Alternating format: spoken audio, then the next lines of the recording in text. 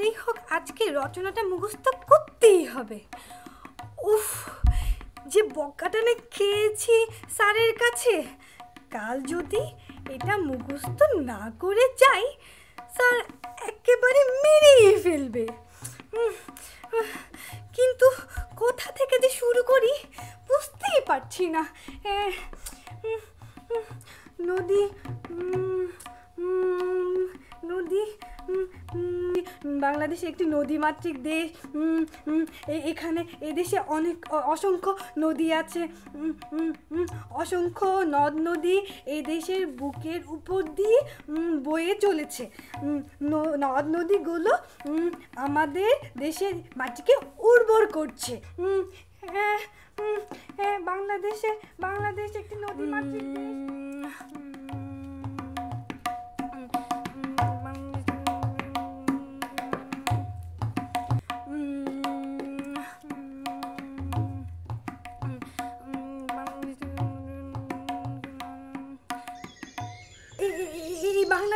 বাংলাদেশ বাংলাদেশ একটি নদীমাতৃক দেশ।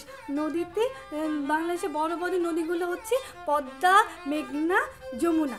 বাংলাদেশের প্রধান নদী হ্যাঁ এই তো বেশ মনে পড়েছে। এই তো আমি পাচ্ছি।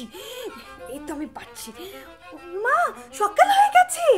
যাই, তাড়াতাড়ি স্কুলে যাই। আজকে সবাইকে চমকে দিব।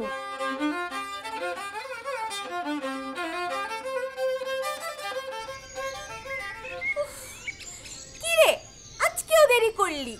জানিস না, বেলা করে ঘুমোনো ভালো না? আরে থাম তো, ক্লাস শুরু হতে এখন অনেক বাকি। তাছাড়া পড়াশোনা করতে গিয়ে একটু বেশি রাত হয়ে গেছে ঘুমোতে। তাই নাকি? তুই আবার পড়াশোনা শুরু করলি কবে থেকে? তোরা কি বুঝবি? আচ্ছা বল তো দেখি, আমাদের গ্রামের মাটি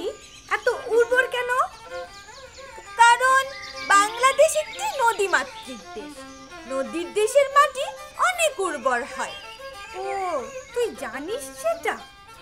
যাই হোক, মোট কতটি নদ নদী আছে তা বলতে পারবি?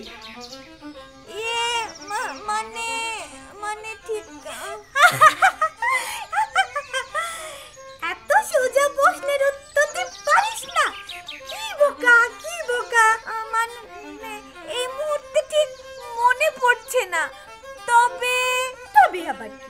বল যে পারিস না।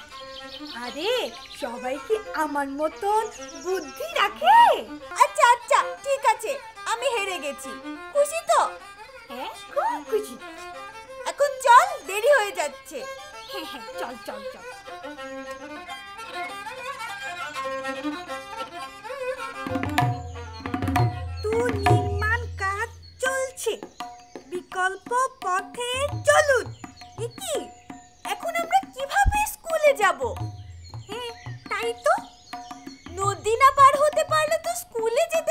না। এখন উপায় ভেবেছিলাম আজকে স্যারকে চমকে দেব। কিন্তু আচ্ছা বিকল্প পথ দিয়ে যাওয়া যায় না? তাহলে তো নৌকা দিয়ে নদী পার হতে হবে। ঠিক বলেছিস। চল নিশ্চয় ওই ঘাটে গেলে একটা নৌকা পাওয়া যাবে। চল, আজকে যে করেই হোক স্কুলে যাবই।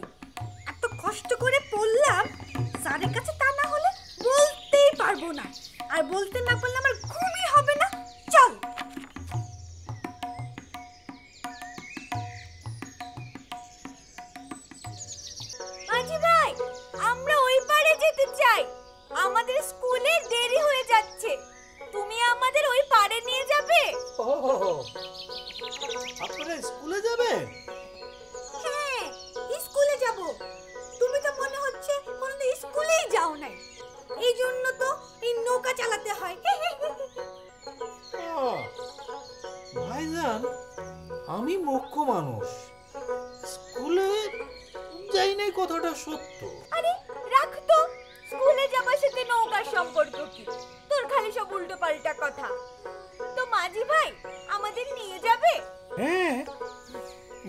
যাওয়াই তো আমার কাজ। আচ্ছা ঠিক আছে ওঠেন ওঠেন। আস্তে পড়ে যাবেন তো। আস্তে আস্তে।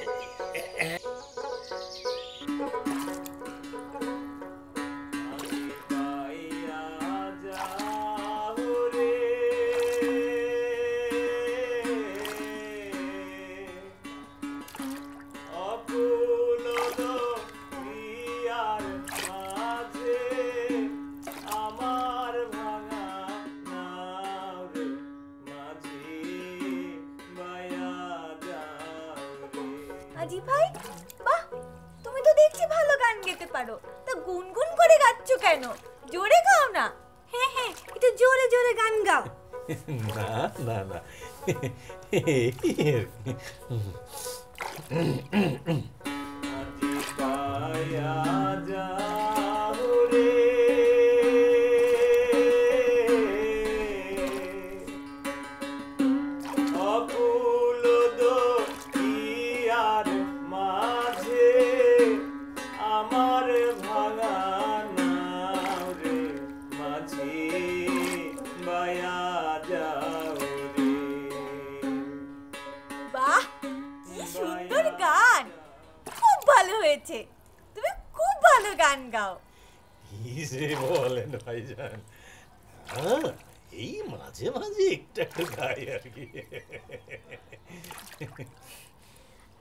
আচ্ছা ভাই? তুমি কতদিন ধরে নৌকা চালাও? ধরেন হিসেব করলে বারো বছর ধরে নদীতে নৌকা চালাই। তাই নাকি? তাহলে আচ্ছা বলো তো এই নদীর নামটা কি? জি এই নদীর নাম হলো ইছামতি বাহ তুমি তো নদীর নামটা জানো। আচ্ছা বলো তো বাংলাদেশের সবচেয়ে বড় নদীটার নাম কি? ইয়ে মানে ভাইজান এটা তো জানি না। এইটা জানো না? অথচ নদীতে সারাদিন থাকো। জি ভাইজান। বলো তো এই নদী পানি কোথা থেকে আসে আর কোথায় যায়? এটা তো জানি। ভাইজান এই দিক থেকে আসে আর ওই দিকে যায় ধুর তুমি এটাও জানো না? ছি ছি ছি ছি ছি ছি তোমার তো জীবনের অর্ধেকই বৃথা। কি বলেন ভাইজান? এতদিন ধরে তুমি নদীকে জানো আর এইটা জানো না? আরে ওই দূর দেশে একটা বড় পাহাড়ের ঝর্ণা থেকে এসেছে এই নদী। আর ওই বিশাল সাগরে গিয়ে মিশে যায়। ও বলেন কি? এত বড় ঘটনা আমি জানি না। দেখেছ? নদী নিয়ে কত কিছু জানি আমি? জি ভাইজান আপনি অনেক পণ্ডিত লোক। আচ্ছা এইবার বলো তো দেখি নদীর পানিতে কি থাকে? ভাইজান আমি কিন্তু এইটা জানি। বলো তো কি জানো? মানে নদীর পানিতে অনেক মাছ থাকে তারপর কুমির থাকে এই এই এই এই এই এই চিংড়ি থাকে তারপরে আপনার শামুক থাকে তারপরে হচ্ছে এই এই শ্যাওলা থাকে এই তারপরে তারপরে হয়নি।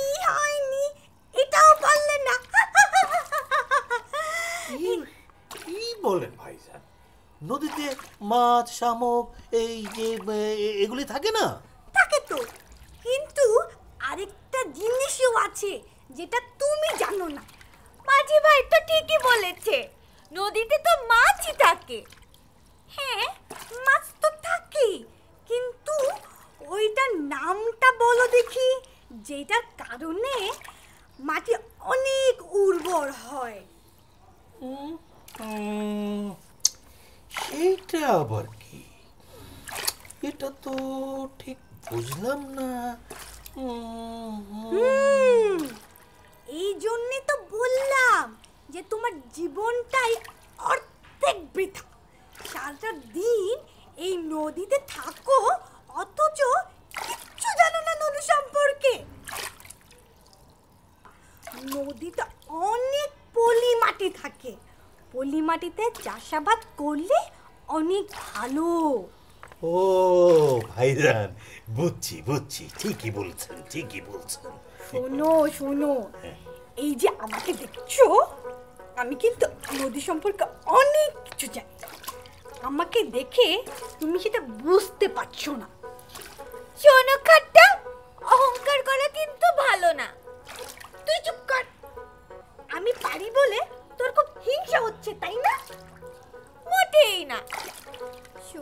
মাঝি ভাই তুমি একটা মাথা ভাঙা পেন্সিল।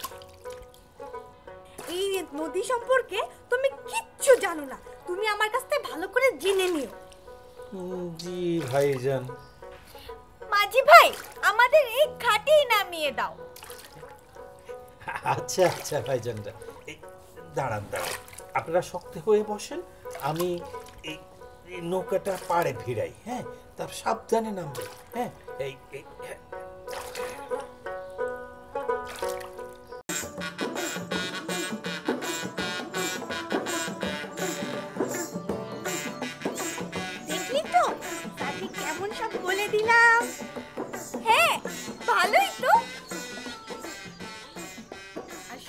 এইভাবে বলতে পারে? আমার মতো? কোথায়? এখনও মাঝি ভাইকে দেখছি না। আরে ওই বোকা মাছটা ভয় পেয়েছে। আমার জ্ঞান দেখে সে আসলে ঘাবড়ে গেছে। তাই নাকি? হ্যাঁ একদমই তাই। কিন্তু আমার মনে হয় মাঝি ভাই ঠিকই চলে আসবে। আসবে না আসবে না। ওই ভাই এসে গেছে দেখ কাটটা কি খবর ভাইজানরা? স্কুল শেষ? হ্যাঁ মাঝি ভাই এখন আমরা বাড়ি যাব। তুমি এত দেরি করে আসলে কেন মাঝি ভাই? আর বলেন না ভাই। শুনেন নদীতে এখন ফাটা চলছে তো তাই নৌকা চালাতে কিন্তু এখন অনেক কষ্ট হবে। জোয়ার ভাটা কেন হয়? ভালো প্রশ্ন করেছেন তো ভাইজান। এইটা তো আমি জানি না। এটাও জানো না তুমি? চল তো রাখ তো তোর সব। চল নৌকায় উঠি। হ্যাঁ হ্যাঁ চল চল। আসেন এই সাবধানে আসেন সাবধানে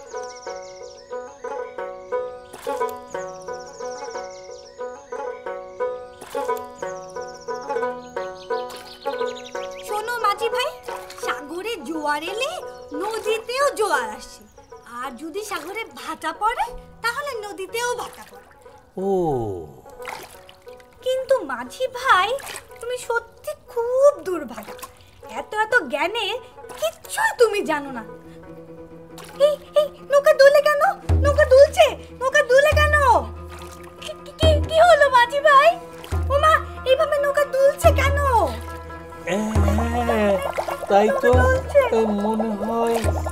দেখি হ্যাঁ নৌকার তলাটা মনে হয় ফুটা হয়ে গেল। নাকি? হ্যাঁ, বলো কি? এখন কি হবে? নৌ- নৌ- নৌকা কি ডুবে যাবে? নৌকা যদি ডুবে যায় তারপরে সাঁতার দিয়ে তীরে উঠে যাবেন। এখানে পানি তো অনেক বেশি না। হ্যাঁ তাই তো। তীর তো কাছেই আছে। কিন্তু আমি তো সাঁতার জানি না। কি- কি বলেন? জানেন না। হ্যাঁ? বাংলাদেশের মানুষ হয়ে সাঁতার জানেন না। তুমি হাসছো কেন মাঝি ভাই?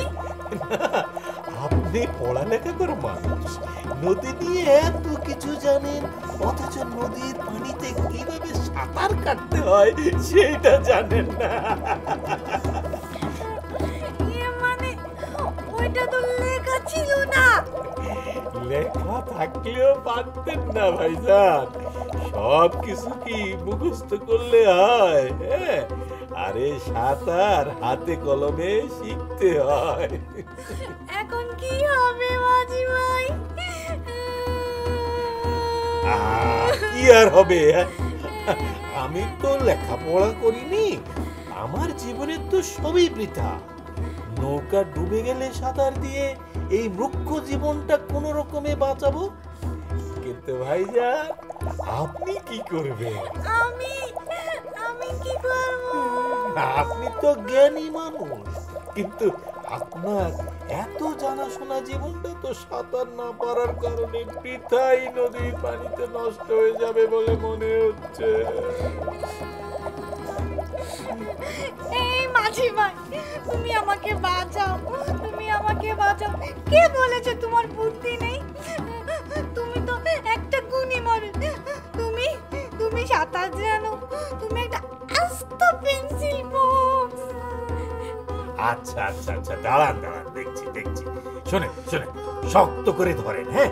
শক্ত করে ধরেন আমি জোরে তাড়াতাড়ি বইটা মেরে দেখি পারে ফিরছি হ্যাঁ এই- ভয় পাবেন না হ্যাঁ শক্ত করে এটা ধরে রাখেন ধরে থাকেন আমি আপনাদের একেবারে পাড়ে ভিড়িয়ে দেব নিরাপদে হ্যাঁ হ্যাঁ, তাই করো মাঝি ভাই তাই করো তুমি অনেক ভালো তুমি অনেক ভালো এই ইয়ো এই ইয়ো এই ইয়ো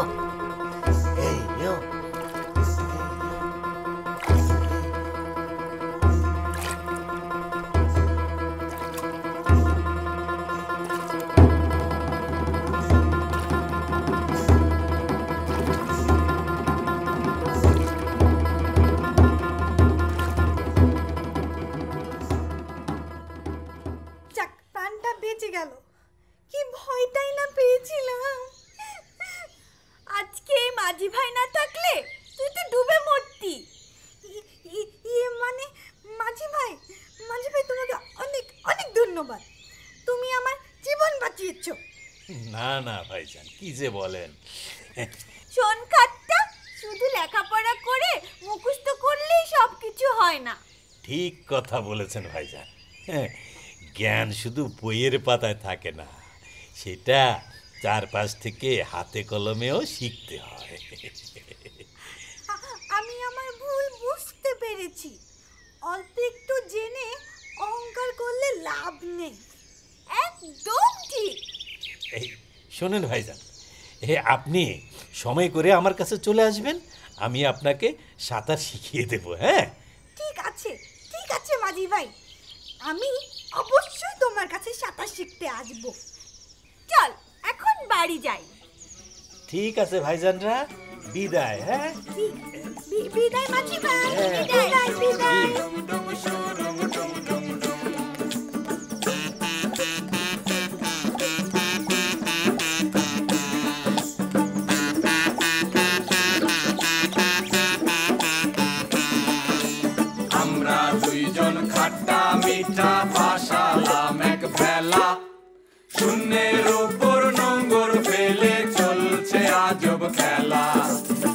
dum dum